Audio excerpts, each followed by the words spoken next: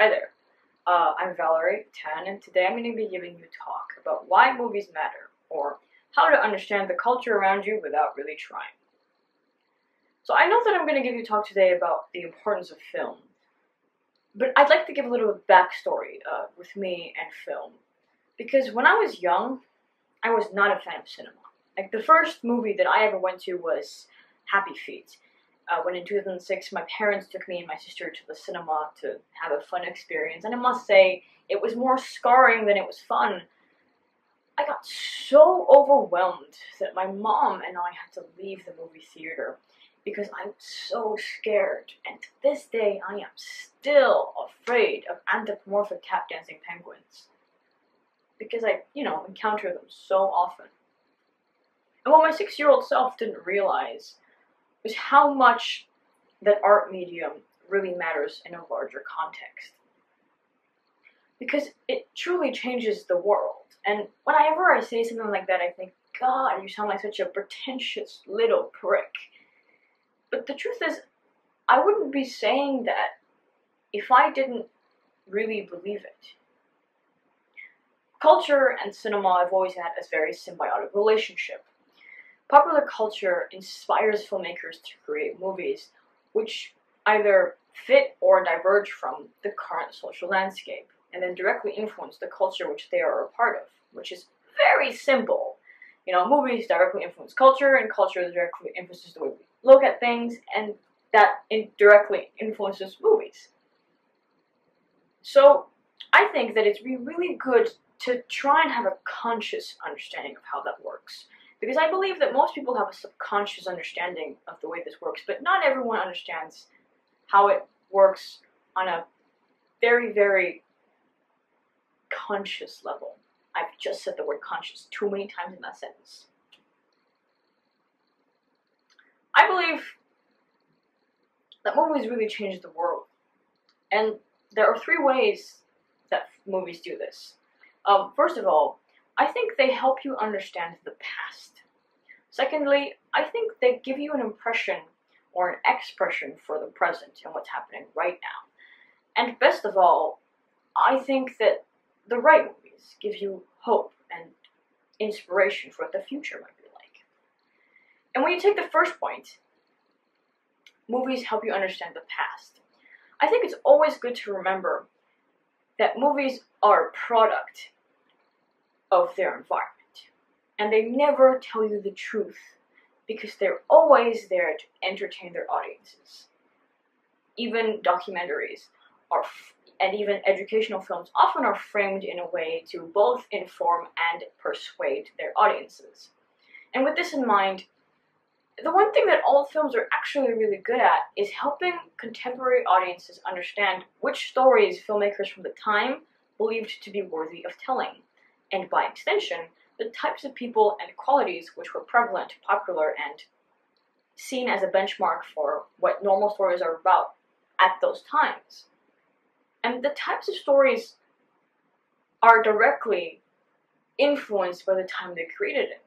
I highly doubt a film like 1984's Revenge of the Nerds would be made today. And as such, looking at it shows the difference in perspective on the world in the 1980s and today.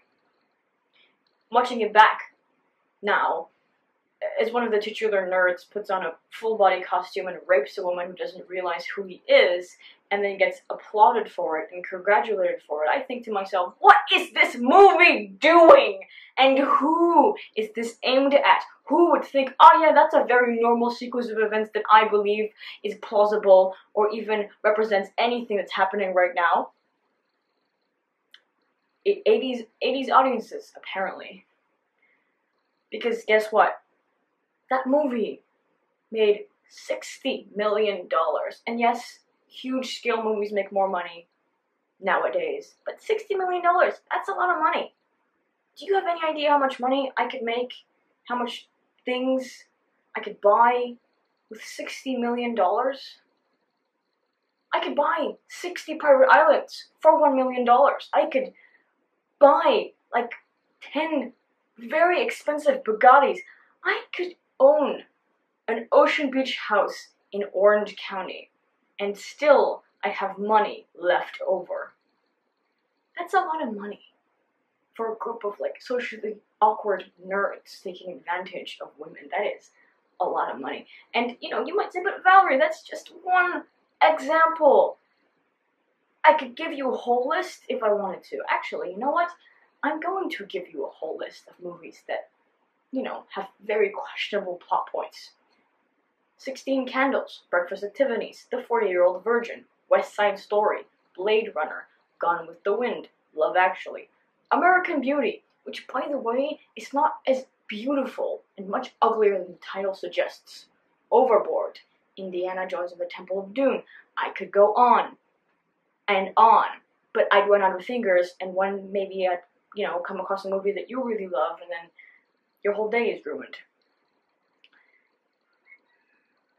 And what the problem is with movies that present ideas, you know, from the time is that they teach the audiences at the time that this behavior is normal, that it's worthy of putting on screen, that it's a normal kind of story.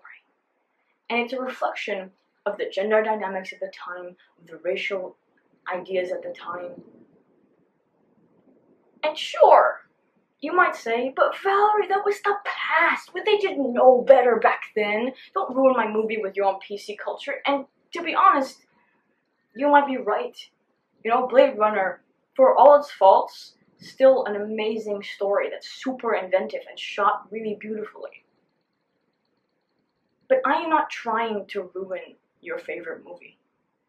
I'm trying to explain that as a contemporary modern audience, you should be conscious of the fact that movies from the past represent outdated ideals, and that maybe you shouldn't take everything from them as gospel truth. Because mainstream movies from the past often portrayed women as being submissive and having no power and no rights, and black people as being violent criminals, and LGBTQ people as being unnatural and inhuman. And whether we like it or not, whether we want to admit it, those ideas permeated the culture of the time and are still very prevalent today.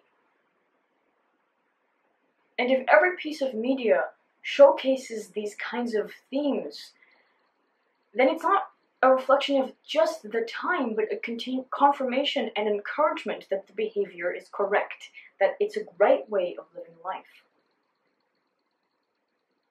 And I realize, sure, that this might be a negative way of looking at the importance of films from the past. But it's true. And it's not that only bad things happened, but that these past films much darker prejudices because those were the stories being told. And those were the people making these movies. Those nerds were the ones who were telling these stories, and so their hopes and insecurities were the ones being immortalized on screen.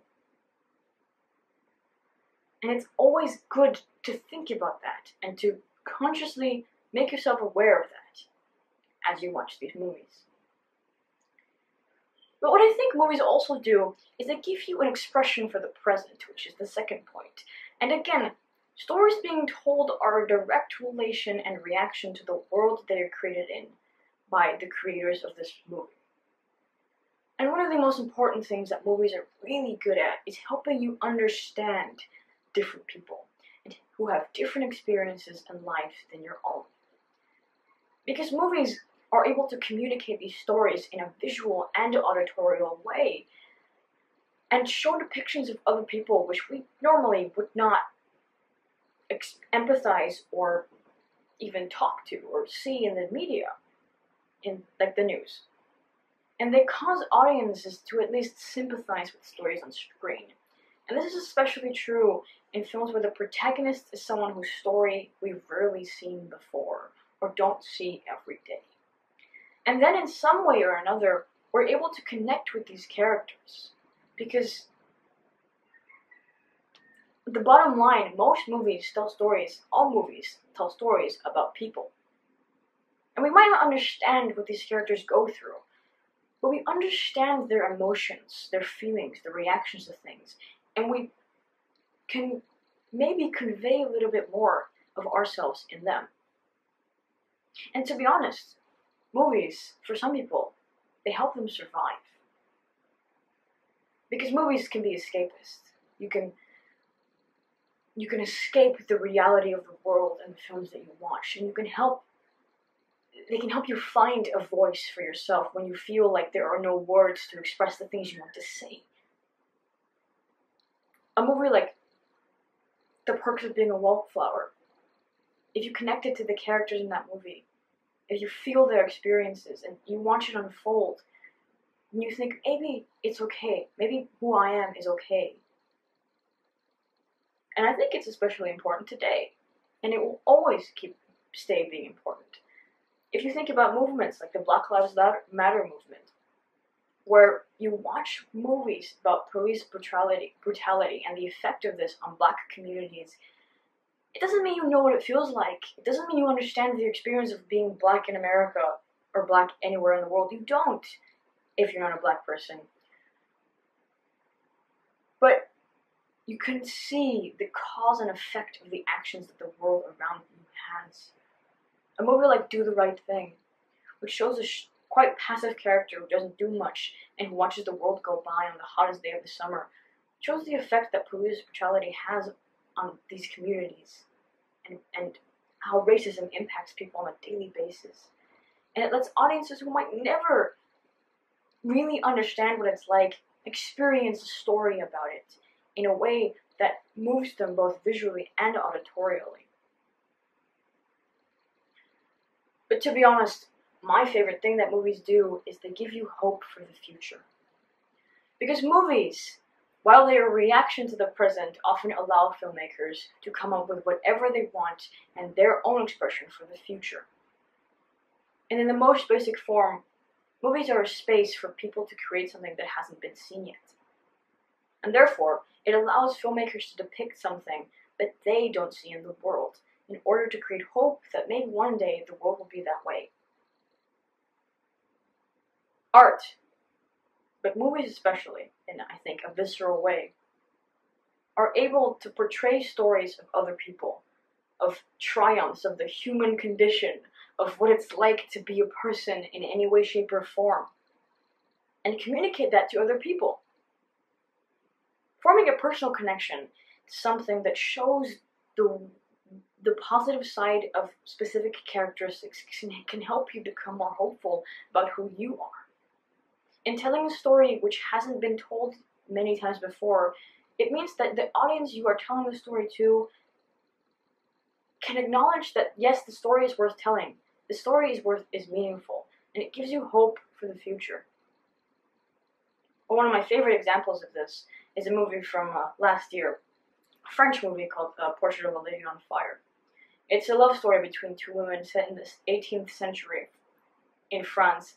And watching it, I felt myself come alive in a way. Not that I was dead before watching it, but a part of me woke up, I guess. And these characters are people who I somewhat identify with, and their story is one where I can feel the atmosphere and their emotions in a visceral way. And it's almost unsettling, you know. Because it's very rare that you see lesbian films or any film whatsoever from the female gaze from this perspective. Often it's a very world dominated vision and these characters are fetishized. But Portrait a Lady Portrait of a Lady on Fire is a movie that taught me that it's okay to be who I am and not only that, but also that my life is worth immortalizing in the story, that the person who I am is worthy of remembering. And watching Parasite win Best Picture at the Oscars this year, which seems like it was, I don't know, decades ago, but I feel like it maybe just six or seven months ago, but really, feels like a lot of time has passed between those things, between now and that happening. Watching Bong Joon-ho and his cast and crew come on stage to accept the award for Best Picture, or something.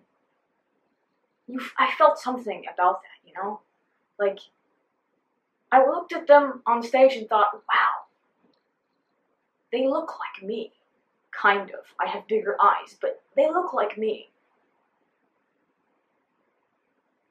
And even though I'm not as good looking and Korean as the cast and crew of Parasite, it meant something to me, somehow.